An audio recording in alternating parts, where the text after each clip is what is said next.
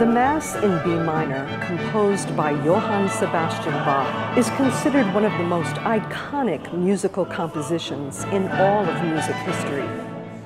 I'm Jacqueline Larry Warsaw, host of EWTN's In Concert series. Join us as we bring you Bach's Mass in B minor, performed in Amsterdam at the famed Concertgebouw Performance Hall. Philippe Herreweghe will conduct the Royal Concertgebouw Orchestra and the Collegium Vocale Gent.